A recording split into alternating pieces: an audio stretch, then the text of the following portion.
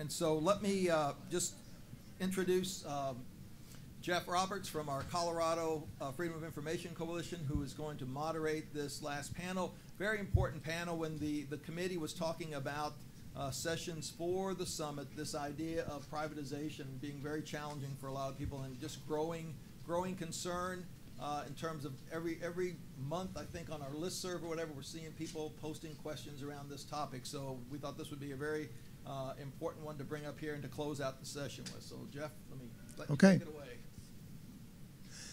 Thank you all for uh, sticking around for the very last panel of our conference. Um, really appreciate that. Uh, I'm Jeff Roberts from the Colorado Freedom of Information Coalition, and I want to introduce um, the rest of our of our panelists here. Uh, to my right is Miranda Spivack. She is the Pulliam Distinguished Visiting Professor of Journalism at DePauw University, also an independent journalist whose um, work appears in Reveal from the Center of Investigative Reporting uh, and in the New York Times. Her, her recent series called State Secrets, uh, which includes a lot of what we'll be discussing this afternoon, uh, recently was honored with the Sunshine Award from the uh, Society of Professional Journalists, and she uh, used to be a reporter and editor at the Washington Post. Um, to Miranda's right is Kelley Shannon, who is the executive director of the Freedom of Information Foundation of Texas and uh, a longtime journalist. She worked for the Associated Press and the Dallas Morning News, among other news organizations. And she's also an adjunct per, uh, journalism instructor at the University of Texas uh, in Austin.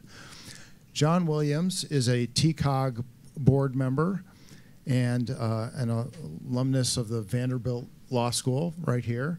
Um, and uh, has a diverse uh, law practice um, for our purposes, our interest. Um, John represents the Nashville Scene, which is a, an alternative weekly uh, in public records lawsuit issues. Um, also advises other publications that are owned by SouthComm Communications. So we're going to be talking about transparency in government when a private entity is involved. And so uh, Dan mentioned privatization. That's uh, one. It can mean a lot of different things. It could mean, you know, government contracts uh, with private vendors. Um, it could mean uh, nonprofits that are that use public resources to essentially perform governmental functions. Um, I also want to talk a little bit about. Um, public money that is used to uh, lure companies, lure, you know. So right now, there's a little company called Amazon that is uh, going to open a second headquarters someplace. And Denver is one of those places that's drooling over this. Some people don't like the idea, but the, all the you know the cities really want this, and uh, the Economic Development Council of Metro Denver is is uh, has is making an offer, but it's it's a super secret, and they've also asked. Um, uh, the municipalities to sign. Amazon has asked the municipalities that are making proposals to sign non-disclosure agreements. So, you know, I wouldn't mind touching on that a little bit as well. Um, but let's first talk about the trends that, that you all are seeing. Do you want to go first, John? I think um, Miranda was going to go first. Oh, Miranda, okay. Sort of talked among ourselves. Okay. Um, I just want to show you a couple things while we're starting this discussion. One is just to show you the website for this series of stories. Two out of the five stories are really on the privatization of public information. Um, and the other is this database that we developed in conjunction with the Milwaukee Journal Sentinel that's pretty interactive and that we're going to try to actually expand, but we'll also help you figure out, especially for civilians, not few of whom are in this room, I think, but uh, for people who are trying to get access to public records in your state. So I just uh, want to call that to your attention. Um, I, what I found was, you know, every government is outsourcing government functions now, whether it's the smallest little town having trash collection with a private company or, you know, big, big cities, uh, creating police videos, but then not necessarily possessing the videos because actually uh, Taser and whatever its successor company is, they pretty much control. You know, they they are the re repository of the videos. So these issues are just bringing up all, these trends are bringing up all kinds of problems and making it, frankly, very easy for governments to turn down requests for public information. Charter schools, which was mentioned earlier today, a lot of states have set up these private nonprofit entities to oversee the charter schools. Uh, Arizona is one of them. And then when people ask for information like salaries, as we were discussing earlier, even though there's a, teachers being paid with public funds, they're denying uh, access to that kind of information. Charter schools, I think, are a big area actually where privatization is is becoming a, a government, you know, access to information problem. Um, crime data that the police departments, because they don't. I mean, this is partly because governments are way underfunded when it comes to IT. It's not a sexy topic to be a lawmaker to make your case that oh, we're going to make our government more efficient with better software and hardware, but um, the, uh, the crime data is being outsourced to companies like LexisNexis, which get it for free from the, the police department. They do the mapping for the police department. Other uh, community groups and other competitors who want access to that uh, information to also map it and make it available more quickly, frankly, than the police departments are making it available. LexisNexis is saying, well, no, we own this, it's proprietary. Um, in DC, there was a case that I wrote about where a cyclist who was annoyed that people were parking, this is a first world problem, but parking in the, uh, you know, parking their cars or valet parking was happening in the bike lanes, but it's an issue. Um, and he wanted to link to DC law on bikes and not blocking bike lanes, and found out that DC law was essentially you couldn't link to it because that Link was owned by uh, either LexisNexis or Westlaw. I, I, can't remember which one it was. Um, there's a big case going on in Georgia right now about who owns the state laws. So all of this is these very kind of oddball things that you would not think are, are being uh, retained by the private sector, but they are, and it's creating huge um, access problems. Um, another thing I ran into was water companies that are, are being no longer run by governments. Uh, there was a case in West Virginia where um, local activists wanted information about whether the local water company was prepared to deal with a chemical spill in Charleston. There had been one.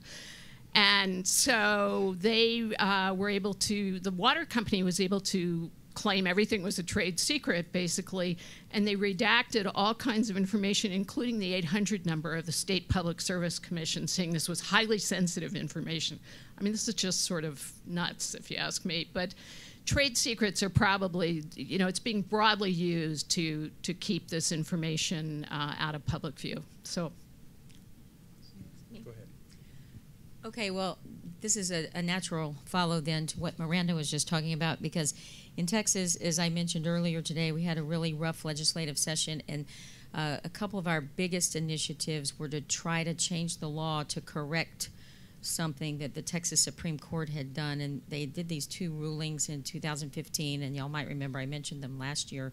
One's known as the Boeing ruling, one is known as the Greater Houston Partnership ruling. Um, and I'll talk more about the Boeing ruling because that's the one that we're seeing the most fallout from so far.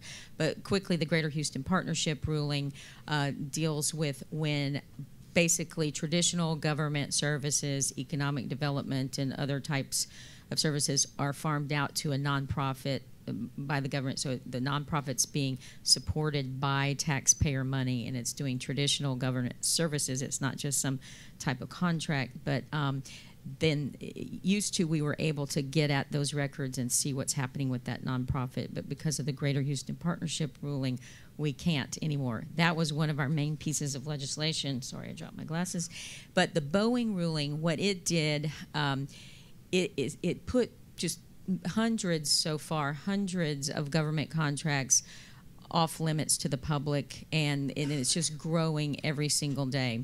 And what the ruling did is it said that, okay, in the past, the Public Information Act, there was a, an exemption, a bidding exemption, and in the past, it had always been interpreted by the Attorney General's office to apply just to governments who wanted to keep bidding information secret while the ongoing bidding situation was happening. Um, and it had already, always been very strictly interpreted that way. Well, what the Texas Supreme Court did is go against that interpretation and say um, this can now be claimed by the third party, by the company that's doing any kind of bidding or having a contract with the government.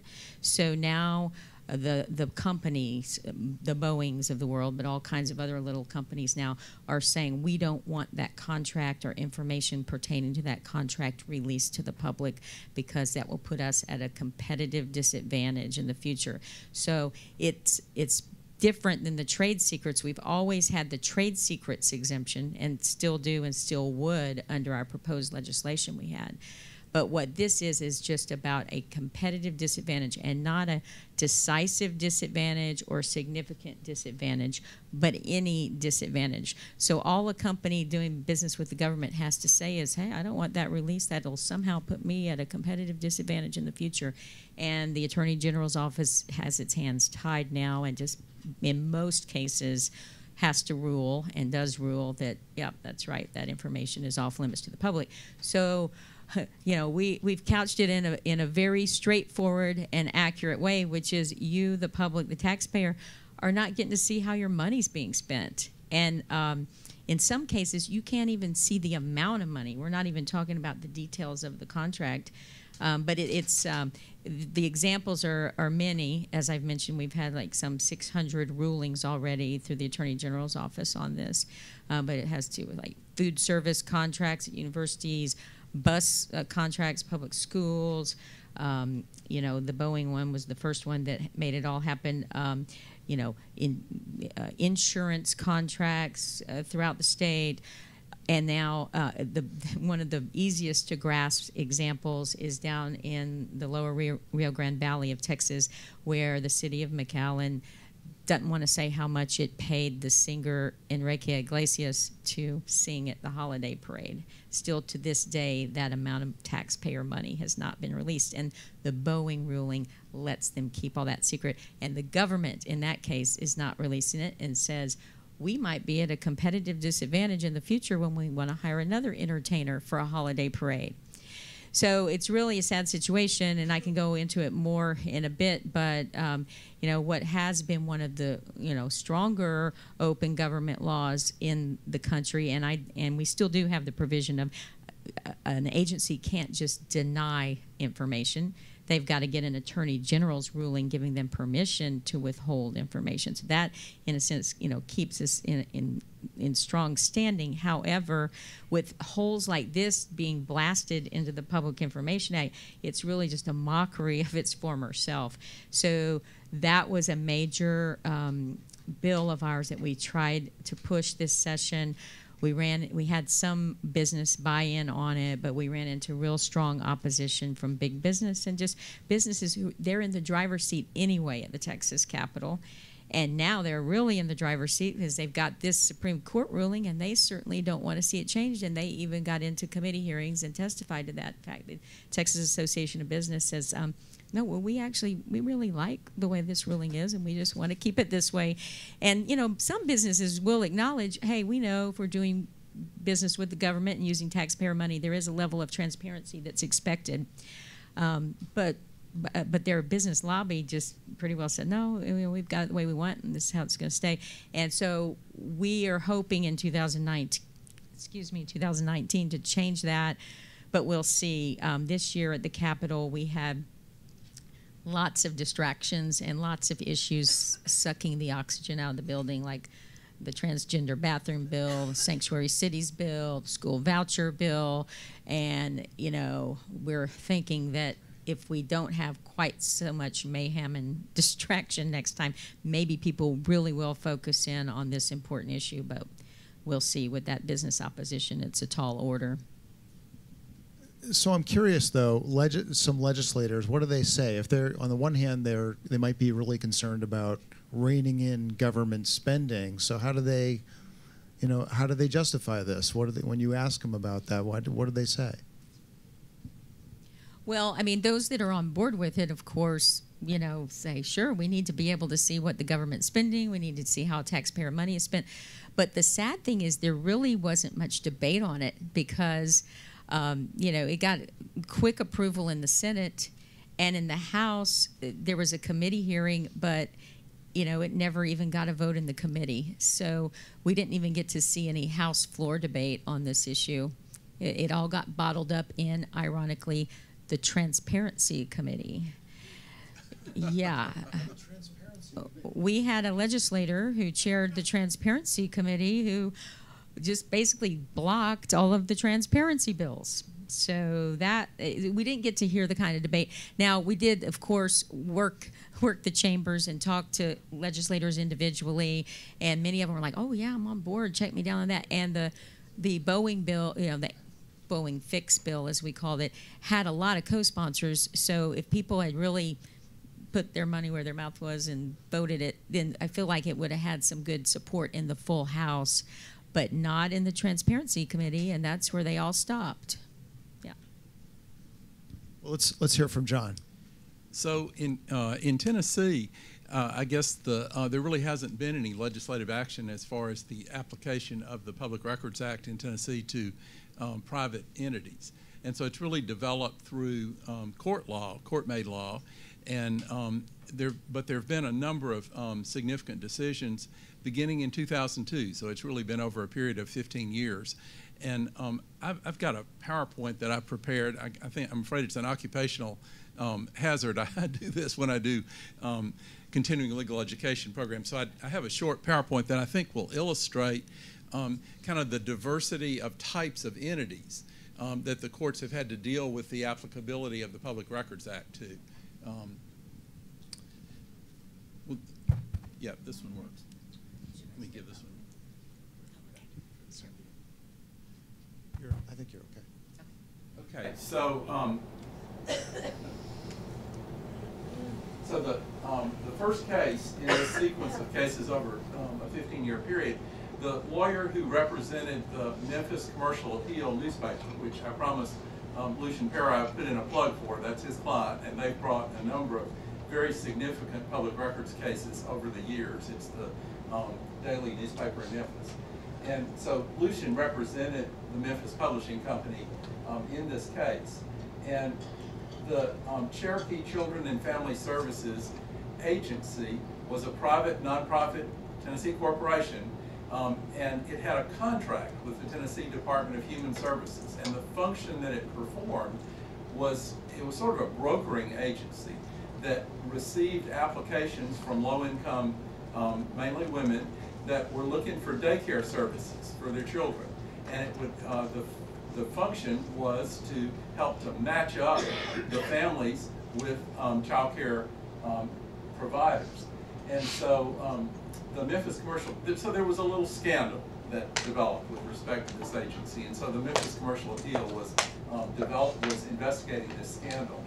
And so the case made it all the way to the Tennessee Supreme Court in 2002. And so the first part of the, the holding is basically in the first bullet, that records made or received in connection with the transaction of official business by any governmental agency. So that's the general um, standard for what is a public record under Tennessee law. And so the Supreme Court said that um, that includes those records in the hands of any private entity which operates as the functional equivalent of a government agency. And that standard, by the way, was taken from the Connecticut Supreme Court. I don't, I don't know, if, is there anybody here from Connecticut? I Guess not. Um, anyway, so there was a, a, Connecticut Supreme Court decision that used that terminology, functional equivalent of a government agency. And so basically the Tennessee Supreme Court in this Cherokee, what's come to be known as the Cherokee case, kind of flushed out what that means and what the analysis is. And the Supreme Court said, you know, in every case that involves whether a private entity's records are to be made public, um, you look at the totality of the circumstances, everything that may be relevant. Um, and then the, the court said um, that there's three factors in particular that a court should look at. And so in all the subsequent cases, that's the way the Tennessee courts have analyzed whether a private entity was subject to the Public Records Act. The level of government funding of the entity, and in the Cherokee case, um, this private nonprofit corporation got almost all its funding from the Tennessee Department of Human Services. So that made it pretty easy to determine that it was subject to the Public Records Act. The extent of government involvement with, regulation of, or control over the entity, and that's also a pretty significant factor. And then the, this final factor, I think, is not so significant, whether the private entity was created by an act of the legislature. Uh, because if it was, then it's arguably always going to be subject to the Public Records Act. So I don't think that that last factor is very, very important. And so finally, the conclusion that the um, Tennessee court reached was that this um, brokering agency for daycare services was um, subject to the Public Records Act. The next case, and this is, we'll, we'll, see one more in the sequence of cases, and this is something I'm sure you all will run into in your states, and that is um, a private nonprofit that's concerned with economic development in the particular area. Um, and in this case, it involved um, a county called Cocke County, which is a small county in East Tennessee. Newport is the um, county seat, and they had the city and the county kind of collaborated, and they they set up this private nonprofit economic development entity. And it, it's interesting who was on the on the board. There were some city officials, some county officials, and then there were representatives from a bank, a hospital, utility board, and of course, the Farm Bureau. Um, and so the um, trial court had held initially, and I think the trial court may have decided the case before the Cherokee decision of the Supreme Court. And so the, the trial court said, no, this um, organization is not subject to the Public Records Act. It went to the Court of Appeals, and the Court of Appeals applied this functional equivalent analysis um, and said, we're going to send it back to the trial court, as appellate courts do, and let, let the trial court decide whether or not under all the facts it is the functional equivalent of a government agency. And so when it went back to the um, trial court, the trial court said that it was subject to the Public Records. So this um, next case um, was also kind of a kind of a scandalous case. Um, there was a there was a, um, a, a, one of these arena football teams called the Nashville Kats, and so they had cheerleaders, and so um, the company that managed um, the facility in which this uh, the arena football team played their games um, was Powers Management. And, and the interesting thing about this is it was a for-profit, not a nonprofit entity, a private for-profit entity. And it contracted to manage this um, facility uh, on behalf of the, the Sports Authority, which was a public nonprofit corporation. And so the scandal was that employees of um, Powers Management set up this videotaping equipment um, that was in the um, dressing room where the cheerleaders changed clothes. And so they were, you know, filming these cheerleaders, and that resulted in what was basically a tort um, case filed by the cheerleaders. And so um, the court held that Powers acted as the functional equivalent of a government agency in the management of the arena, and that its records were public records. And what was interesting was that one of the three judges on the Court of Appeals wrote a concurring opinion to try to provide some guidance, I think, for future um, cases. And that judge wrote that certain activities that have been traditionally viewed as governmental activities of state or local government, um, and the, the judge mentioned things like policing, incarcerating, adjudicating, and educating as being traditional government activities. And so if a private entity is performing any of those things, then naturally they would be the functional equivalent of a government agency. And so the next case applied that principle because it was a case against the Corrections Corporation of America, now known, they've changed their name recently because of all the bad publicity they were getting, and they're called Core CoreCivic now, which, how they came up with that, I don't know. But anyway, at the time of this case, it was um, CCA, and they were, they were managing um, facilities um, under contract with local governments. And so the Court of Appeals had no trouble at all in finding that their records should be open under the Public Records Act. And the court even said that it was at a loss to, as to how operating a state prison could be considered anything less than a governmental function. So the, the next case, and there's one more that we'll get to in a minute, um, that illustrate how not all private entities that do things on behalf of a government agency are going to be held to be subject to the Public Records Act in Tennessee.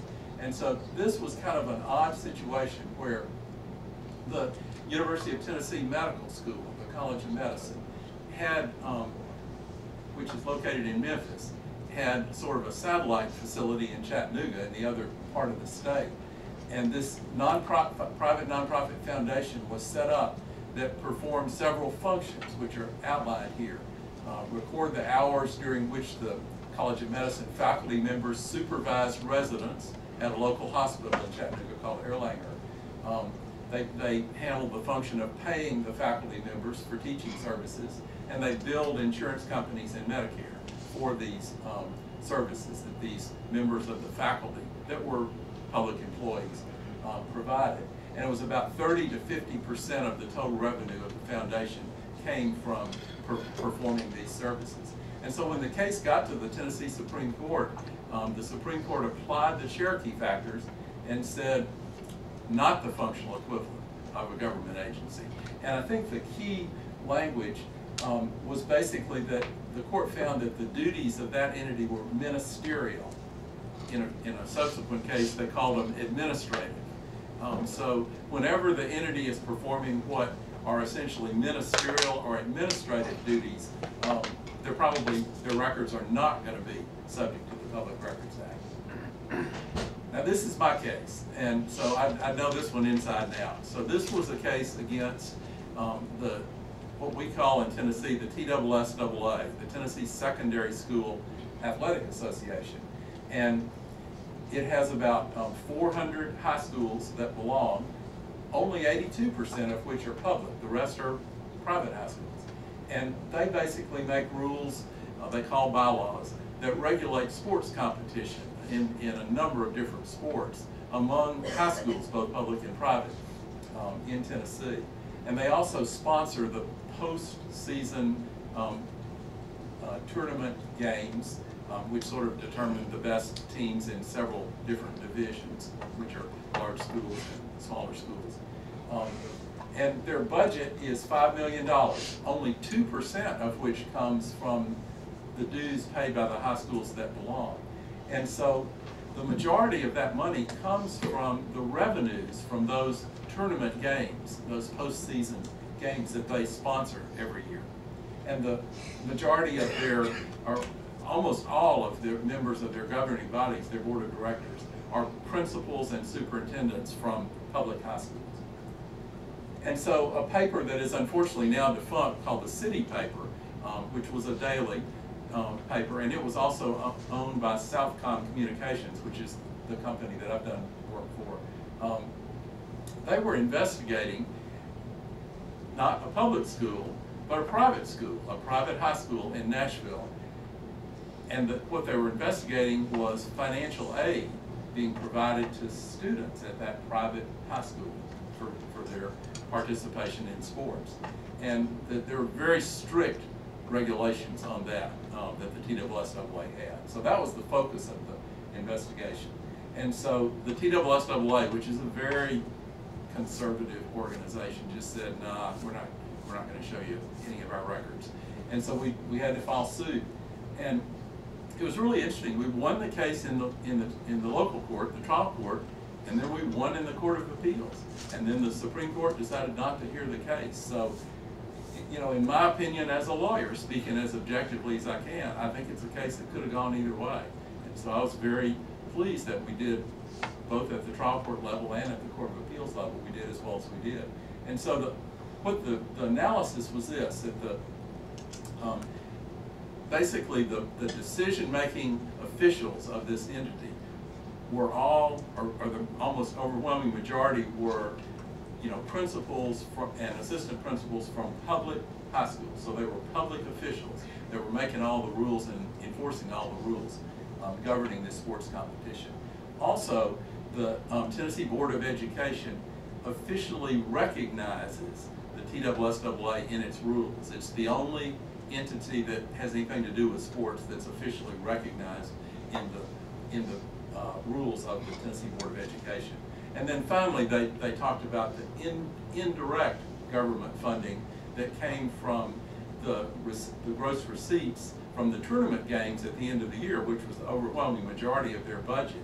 And so these games were played in public venues, um, actually college venues, um, MTSU in Murfreesboro and um, in Cookeville, the Tennessee Tech facilities in Cookeville. So all of those factors were the factors that the Court of Appeals used to find that the TSSAA is the functional equivalent of a government agency. And so um, the, um, the next year, um, and Frank Gibson, who's in the back, knows about this, they, the TSSAA made an effort to exempt their records from the Tennessee Public Records Act after this court decision. And um, they, believe it or not, this, um, you know, private entity, which claims to not be subject to the Public Records Act, they have lobbyists at the Tennessee legislature, so they pay attention to what's going on at the legislature. Always have had lobbyists for many years and, and did in 2015, the year after the Court of Appeals decision. And so their lobbyists got busy and got a bill introduced that was in an effort to exempt um, their records from the Public Records Act. And Frank and I met with their lobbyists, and there were other people involved. And um, basically, what came out of it was what I consider to be a pretty innocuous exemption. And what was really, really humorous to me was that the TSSAA lobbyists realized during the course of the discussion of this legislation that the records, the, the school records um, of the uh, academic performance, financial status, um, medical or psychological treatment or testing, those records of the students that they said were so sensitive, how did the TSSAA have access to that information? And they thought, oh my God, maybe we don't. And so the language that they got written into the um, act exempted that kind, those kind of records from which I think probably would have been exempted under federal law anyway, um, but also gave them access to it or said that they're, would, they had the ability to get that information from the schools. So it was kind of humorous, and I don't think it did any harm to the court decision holding it all. Unfortunately, this is another case that the Memphis Commercial Appeal uh, brought recently. The city of Memphis was hiring a new director of their police department. And they uh, entered into an agreement with an organization called the International Association of Chiefs of Police, which apparently performs kind of a search function um, for um, police departments and maybe other types of departments um, to um, help them to screen applicants for that type of a position. And so they performed that function, and what they did was to narrow um, a long list of applicants to six applicants, which they then provided to the city of Memphis. And the city of Memphis made that information public about those six final applicants. But they refused to make any of the other information about all the other applicants um, public. And so the newspaper tried to get it from this private um, entity, and um, they refused to provide it. And so um, the, the court held that the, um, this International Association of Chiefs of Police is not the functional equivalent of a government agency, and they applied the, the Cherokee, Cherokee test again. And here's where they used the language administrative. They said that this organization performed the essentially administrative task of conducting a preliminary search and delivering a non-binding list of recommended candidates to the city. Um, and that really the city was the, um, and that they, they made the information that was requested of them public. Um, and so, um, anyway, and the only less than one percent of their revenue was um, derived from this executive search service that they provide. And then finally, one more very recent case, last um, couple of weeks, um, again involving another economic development nonprofit, um, private nonprofit entity. And so in this case, Jefferson County, which incidentally is just like right up the road from Cocke County, the other one that um, involved an economic development organization. Um, and so again, this was um, an organization set up as a nonprofit public benefit corporation. It had um, half the members were public officials. And the, the uh, mission, as stated in its charter, was to coordinate the strategic economic development efforts of Jefferson County and the public entities therein.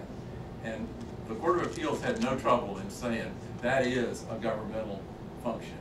Um, the local governments contributed more than sixty percent of the funds that they receive each year. And so the court said the expenditure of taxpayer revenues can fairly be said to be a governmental function. Um, so I think, you know, economic development entities, my conclusion is that they are generally going to be found to be subject to the Public Records Act.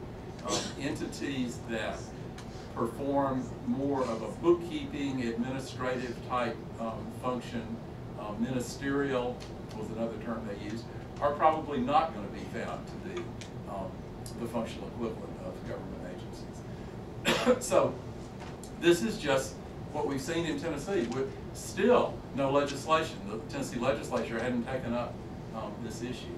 And so um, I think it's just going to continue to be decided on a kind of a case-by-case um, basis, but with some pretty good case law to, to back us up. Yeah, and I wonder if in a lot of states there just isn't a lot of clarity on these issues at all, because either because they haven't been litigated or there's no, it's not clear in state law. In, in Colorado, I'm thinking of, we have um, 20 nonprofits called community center boards, which coordinate services for people with developmental disabilities. These are private nonprofits, but they receive anywhere from 80 to 92 percent of their funding from public dollars. And so they're performing, in my mind, they're performing a governmental service. There's no other, you know, they're taking public dollars to, to coordinate these services. And they are not covered by the open records law. You know, they claim they're not covered by it. We don't have any direct litigation uh, about that type of thing. And so there was actually a bill in the legislature a couple of years ago to cover them by under the open records law and uh, something passed that you know required them to post their budgets. You know, something really pretty innocuous, but nonprofits in general freaked out about that. You know, are we going to be covered as well? We we have one case that I can think of. Uh, the Denver Post sued uh, what's known as Stapleton Development Corporation, which is um, when the airport moved many years ago. This is on the land of the former airport. It's now big residential development and it was a nonprofit created by the city of Denver to oversee development in this area, and they claim they were not covered by CORA, the Colorado Open Records Act, and the Denver Post won that case, and it went to the Colorado Supreme Court. So that's the test, and I think it, I think it says something about being an agency or an instrumentality of of the public body that you know that created it. Do they have some control over it? That's kind of the test in there, but nobody's applied that to these community center boards or you know these other types of entities, and so you're just left hanging, wondering if they're covered. And if they claim they're not covered, they're essentially not covered because no, unless somebody sues.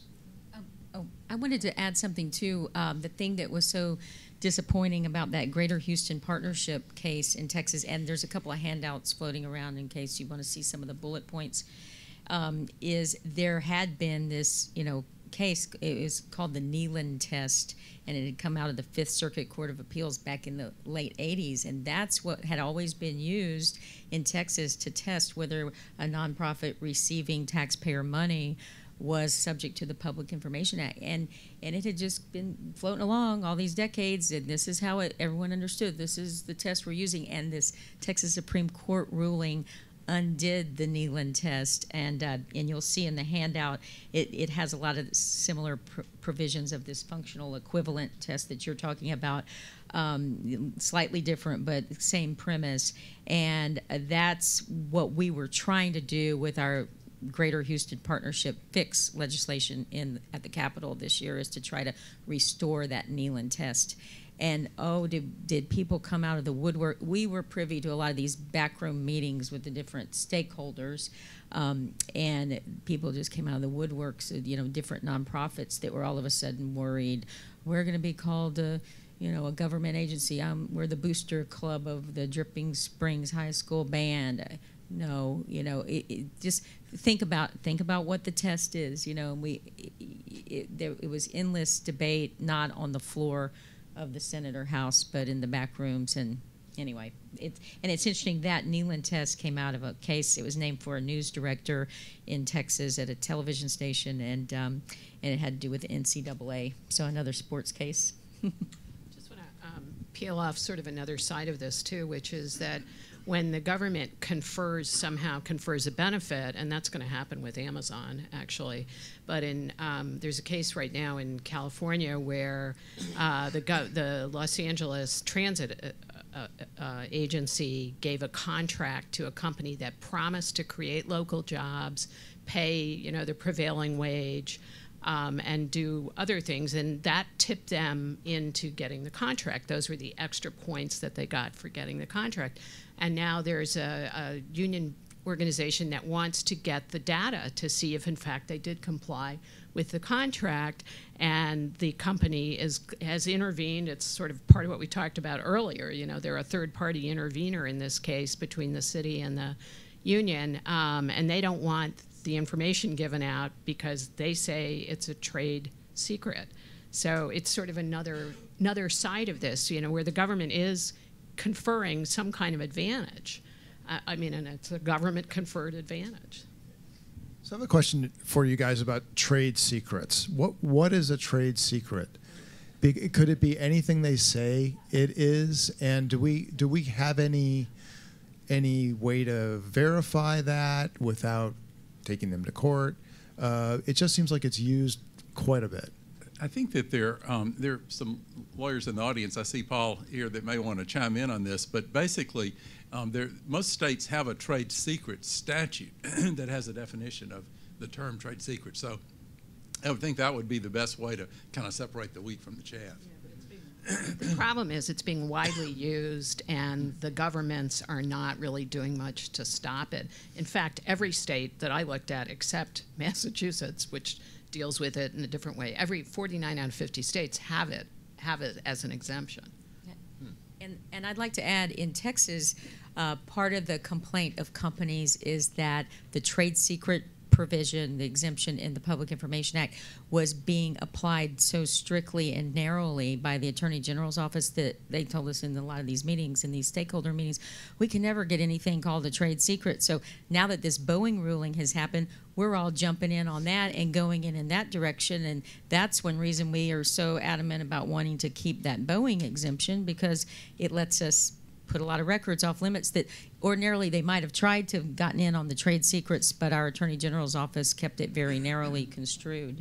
So, you know, I guess as you say, a state by state basis is how it's interpreted. Well, it would seem to me that um, if there's a trade secrets exemption in the Public Records Act, and there's no definition of trade secrets in the Public Records Act, you could still go to the State Trade Secrets Act, and you- because there, I guarantee you, there will be a definition of trade secrets there, and there may be some case law interpreting it. so. It's generally, I think, defined, um, but one of the other problems that I ran into as I was looking at this is that um, most of these government entities, when confronted with the question of what is a trade secret, turns to the company and says, What is a trade secret? You can do the redacting. And that's why, for example, in this West Virginia case, somehow they managed to redact the 800 number of the State Public Service Commission. You know, why they thought that was a trade secret. I mean, that just showed how reckless they were in, in the redaction. But the redacting opportunity is given to the company. So be- before we go to questions, um, I want to get back to Amazon for a second, and and Amazon asking um municipalities, uh, government entities to sign non-disclosure agreements about what they're proposing to lure the company. Can can they get away with that? No, I don't think so. I mean, it, the law is going to overrule any type of agreement. Uh, You know, a local government or a state government can't enter into an agreement promising to keep something confidential if the Public Records Act says that it's open and available. Right. available. Right. Yeah, I had this discussion with uh, the editor of the Denver Business Journal on the phone the other day because that's that's what they're trying to do, and the, e- the economic, economic development corporations are staying silent about this stuff. The municipalities aren't talking about it, so he's making a bunch of records requests, and but they're also keeping the um, non-disclosure agreement itself from the public. So what's in that? Wow. Yeah. What- One, one comment um, before we start with questions. when, when I was doing this um, Tennessee Secondary School Athletic Association case, obviously I was interested to see if there were any other similar organizations because every state has one of these high school athletic associations. So I did some legal research and there, I found only one um, Supreme Court decision from another state, and it happened to be from Michigan. And it had been, I don't know, 10, 10 years or so before um, the case that I was involved in. And the Michigan Supreme Court had held that the, um, it was exactly like my case. It was a public records case, and the Michigan Supreme Court had held that they were not um, subject to the Michigan Public Records Act. And of course, there were some differences in wording, but not significant between the two Public Records Acts. Two Supreme Courts reached completely different decisions. And just out of curiosity, I was recently looking to see if um, the decision in, in my case had been cited by any other courts to see if maybe the issue had come up in another state. And sure enough, it had come up in Illinois this year. And in Illinois, the Illinois Supreme Court held not subject to the Public Records Act. And it was very, very interesting. And they, they actually cited the decision of the Tennessee Court of Appeals and then distinguished it by saying, well, the difference is that in Tennessee, the Tennessee Board of Education officially recognizes the TSSAA. And, and that was the single factor that seemed to make a difference in the you know, in their analysis and why they, Illinois Supreme Court said not subject to the Public Records Act. So it's very frustrating and hard to know how courts are going to reach a decision, you know, interpreting a statute on this type of issue. Questions?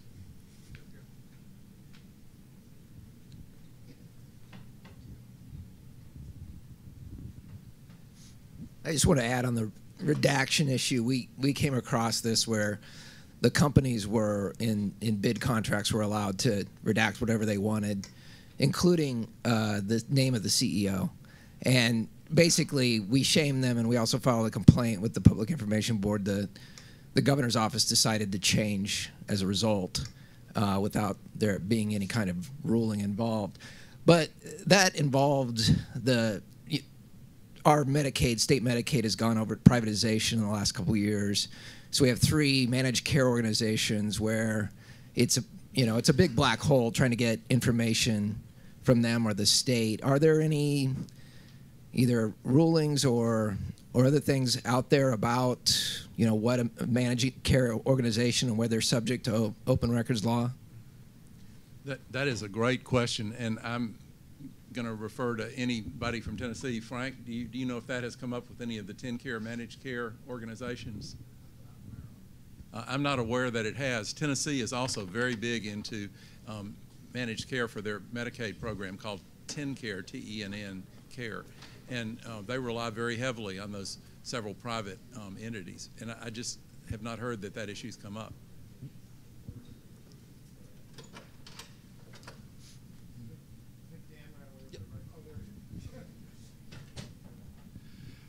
More of a just a note encompassing everything you've talked about and for everybody to get an idea how bad I think things are really coming in this regard.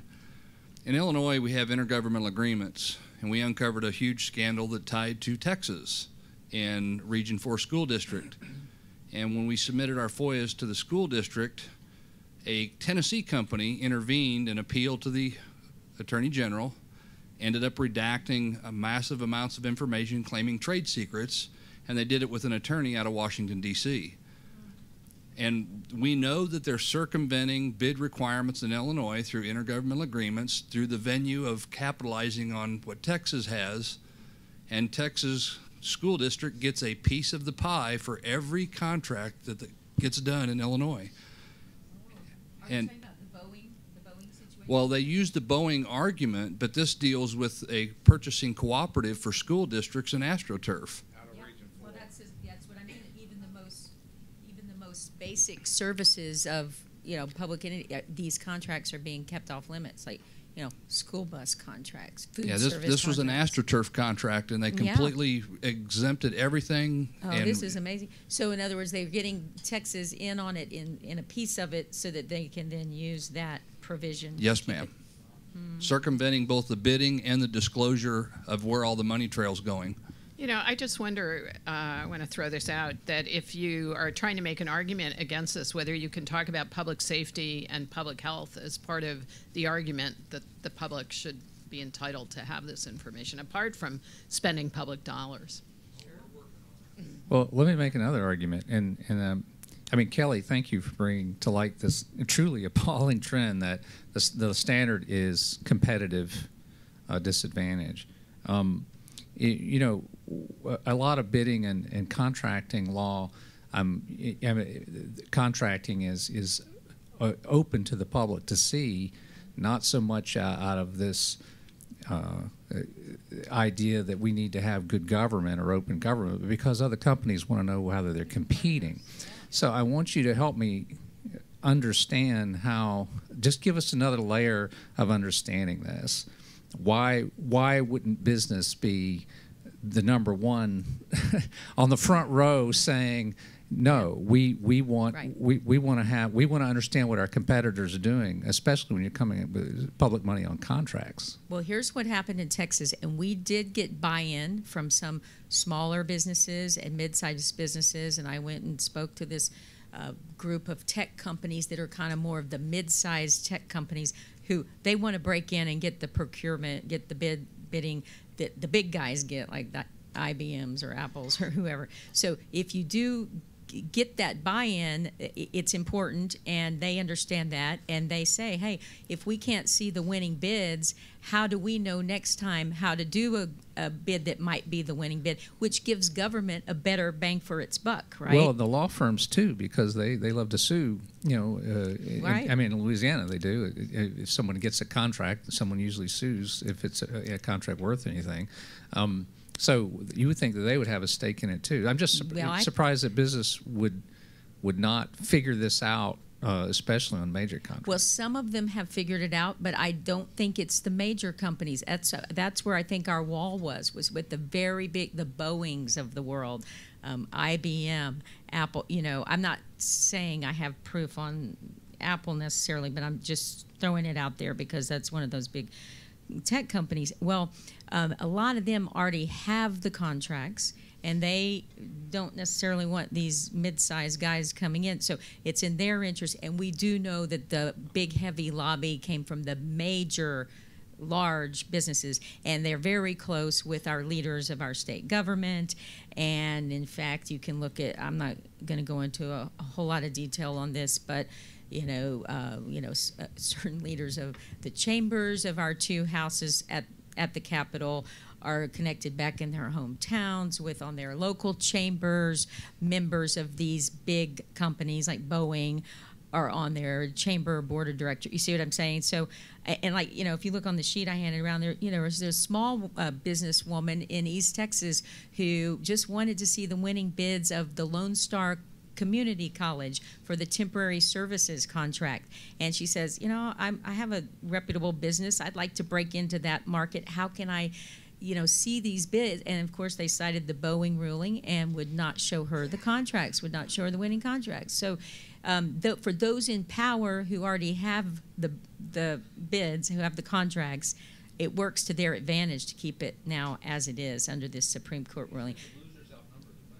You would think so, but uh, you know the way business, big business, controls the Texas Capitol. That's what we're up against. And you know, if any of you have other ideas outside of this format to talk to me about how we can find common ground or make more appeals, we've got to find a way to work with the big businesses on this because if we don't find some way, you know, it's just not going to pass again because they really do control the Texas Capitol and always have. Big big business controls the Texas Capitol. So, but I agree, business in many cases wants the contracts to be open.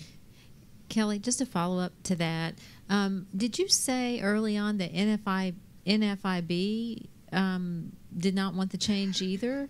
It was the Texas Association of Business I was referring to. I'd have to look up how NFIB stood on it, but Texas Association of Business is the very big business lobby in Texas, and um, as I also mentioned earlier, there's a lot of different moving parts in the background of all of this, but we had the the transgender bathroom bill this year that was a very, very divisive thing at the Capitol did not pass.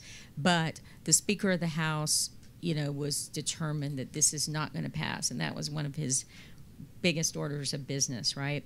And the Texas Association of Business was very much uh, in in favor of his position, and they said we don't want to cost businesses and sports teams and everything from coming to Texas. It's a business argument as much as it is a human rights argument, right? So you had all these business, big business groups aligned with the leadership in the House on that issue. And you also had some of these big business groups aligned against us on the Boeing issue. We still don't necessarily we can't really connect the dots on that but we just know that that's what was occupying so much you know the the the divisive issues were occupying so much of the time with the, the leadership of the house that we felt like our issues got kind of caught up and we were collateral damage too. Yeah.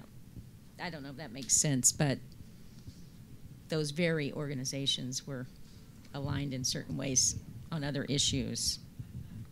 Yeah. Um, we've seen a couple situations in Ohio on this um, trade secret thing where they're even redacting the fee that they're receiving.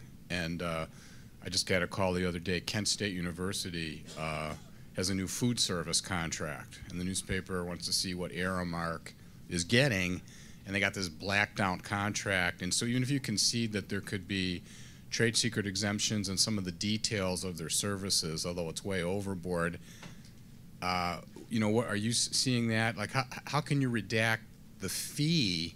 Now, there's other ways to get those disbursements ultimately, but you still don't know if that's tied to the fee. So, what, what's what's the experience there, and the best way to fight that on the trade secret grounds? I, I would go back. I, am sure Ohio probably has a trade secrets um, oh, statute. We, yeah. And have you looked at the definition of trade secret in that statute? Yeah, it's been a while, and we, we should do that. I would think that would be the best way to, because I can't imagine that the, you know, the, the bid of a private company for a government contract would be a trade secret. I mean, a Yeah. trade secret is generally has to do with Right. some process or Right. method or something for which a patent has been sought. Yeah, we think that's ridiculous. And one, I, one idea you guys just gave me was I'm going to tell the editor up there, uh, find out who else bid on the contract against Aramark, and they might be interested in uh, you know that because I, for, I think the point about other potential bidders would want to know that and other details so they can bid and, and theoretically save the taxpayers you know more money um, the next time. But that strikes me as being an issue that's easily worth going to court over. I mean, Yeah, that- and I- and that's I think just- they will. That's a sure win. I hope so. Yeah. That's what I told them. Thanks. There's a question in the back. Grab this one here, and I'll be right over there. I thought I'd mention something along those lines with trade secrets. I mean, trade secrets are, I've seen them be often abused, and they're asserted by companies, and I've seen the government say, well, just redact what you want. But trade secret law, generally, they have to have like certain security measures, making sure that it stays secret, and have to have a competitive advantage in the marketplace if it is actually revealed. Maybe that second piece might be arguable, but the first piece, it seems to me, once they submit the bid to government, they actually are no longer controlling it, other than maybe to assert, hey, we think it's a trade secret. So maybe on that security piece, you may actually have an argument, which that security piece is in probably, it's in the Uniform Trade Secrets Act, which most states either have or have a version that's similar to. So just a thought. Another question? Hyde.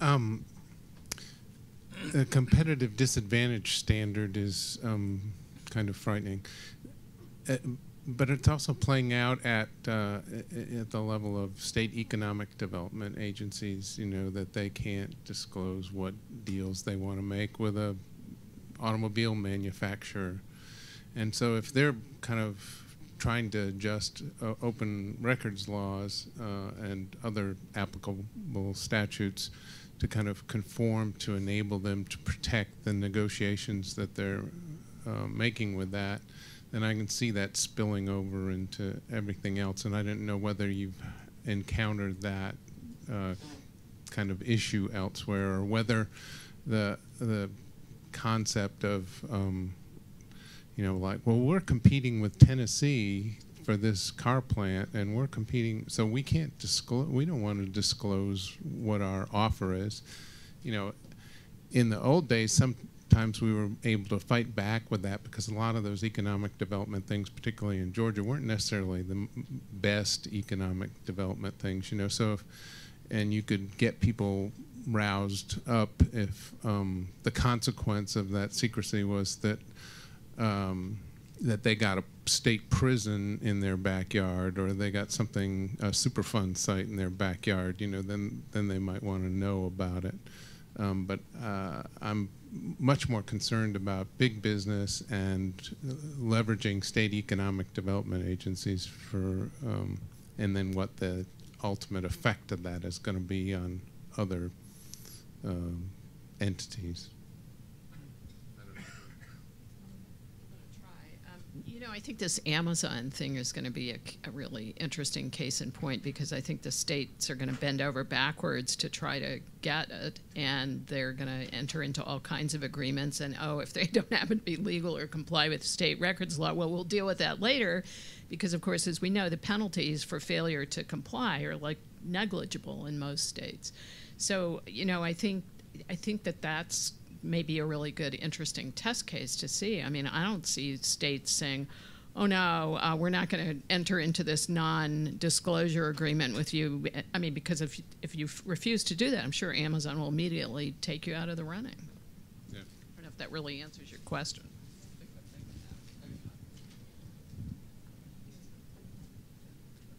Thank you. I work in Knoxville, and uh, over there, most of the economic development projects that we get, uh, that uh, the large ones that come with incentives, uh, also have an incentive package from TVA.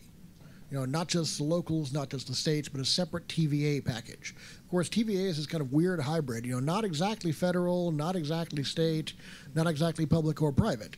And TVA, as a rule, has consistently refused to release their incentives. You know, they, they, they, have, they have a time or two for some odd reason, but as a general rule, it's, it's simply stonewalling. Uh, you, uh, we've tried to challenge that a time or two, but had little luck. Do you have any suggestions for how to tackle getting TVA incentives? Well, I, unfortunately, first of all, I think that probably TVA is going to be subject to, to FOIA and not to the State Public Records Act. They, they would certainly assert that, and I, I suspect they would prevail on that. So I, I don't know off the top of my head what exemption they're claiming under FOIA, but um, you'd have to look at that and just see what the case law is on that the exemption that they're claiming. changes actually in the FOIA law last year. I wish Tom Susman were still here because he really knows about this. But there, there was a loosening and an opening up on federal contracts that makes it, it could be a good example for a lot of the states so it could be that there might be something about the contracting, if you look at the most recent changes in the law, that could work this time that might not have worked a year or two ago.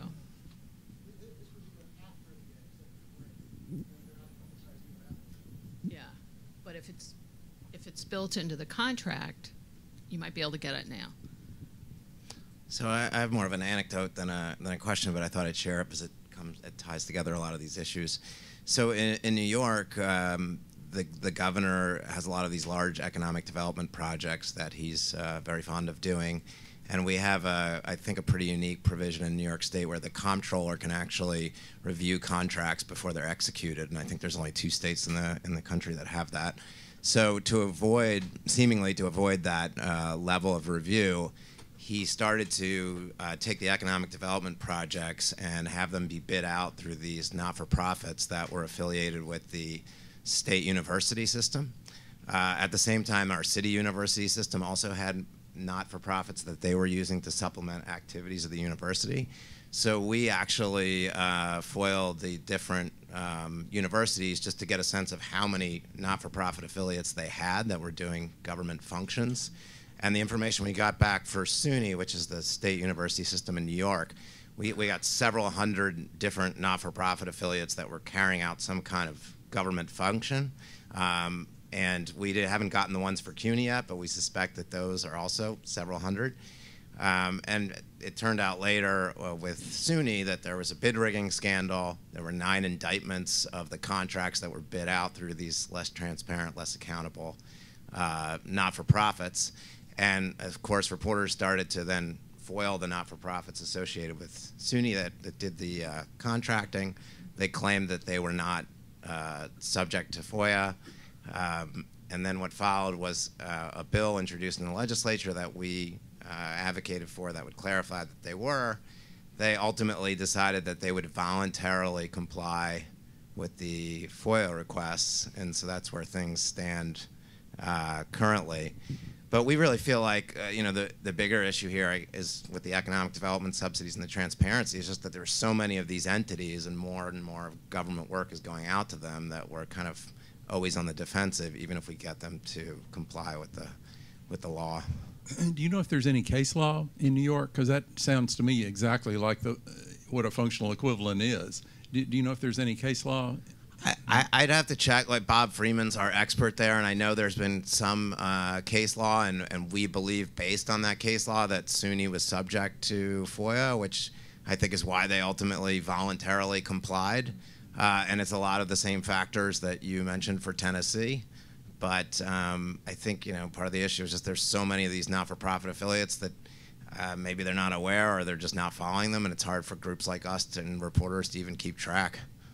Right. It sure sounds like a winnable case, though, for the function they're performing. Right.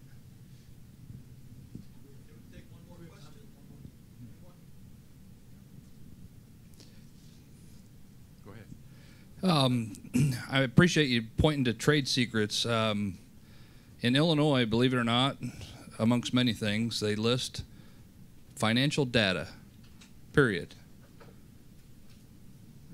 So we all know what that means just having that phrase, financial data, the price of the contract, and anything financial data related to it is a trade secret. We can't get our hands on any of it.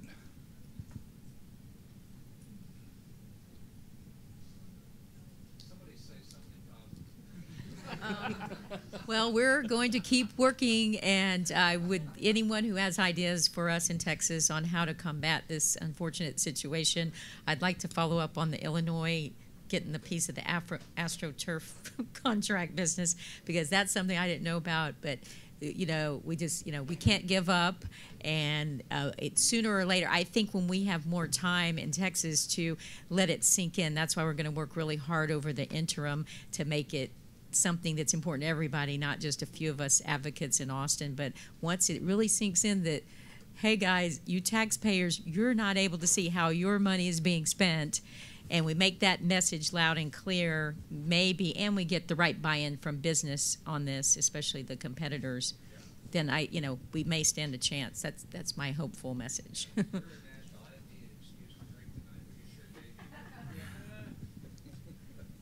Thank you guys very much. All right. Yeah, thank, Thank you you. all very much.